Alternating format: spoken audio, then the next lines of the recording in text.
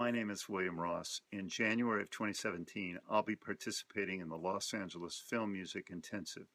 This program was, I believe, started by David Newman, an absolutely wonderful conductor, composer, and musician with an extraordinary amount of experience in film music, both on and off the podium, and Angel Velez, a terrific conductor himself. Now, this year, Angel, Conrad, Pope, and myself are presenting the program and my particular focus will be in the area of conducting to streamers and punches, working with click tracks that are variable as well as steady, and finding ways to combine all of these depending on which will be the most appropriate for the needs of the music in the film.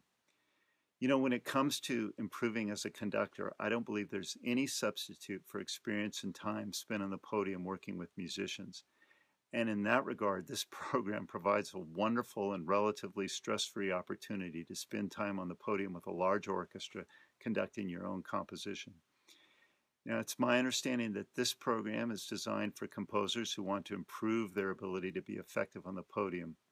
And speaking for myself, that's something I'm always striving to do and hopefully continuing to get better at.